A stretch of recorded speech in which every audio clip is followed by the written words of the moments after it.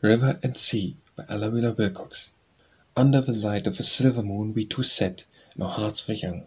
The night was warm with a breath of June, and loud from the meadow the crickets sung, And darker and deeper our love than the sea were your dear eyes as they beamed to me. The moon hung clear and the night was still, the waters reflected the glittering skies, the nightingale sang on the distant hill. But sweeter than all was the light in your eyes, your dear dark eyes, your eyes like the sea, from the depths shone love for me. My heart like a river was mad and wild, and a river is not deep like the sea. But I said your love was the love of a child, compared with the love that was felt by me. A river leaps noisily, kissing the land, but the sea is fathomless, deep and grand. I vowed to love you forever and ever. I called you cold on that night in June. But a fierce love like a reckless river dashed on, and the vein was spent too soon. While yours, while yours was deep like the sea. I cheated you, love, but you died for me.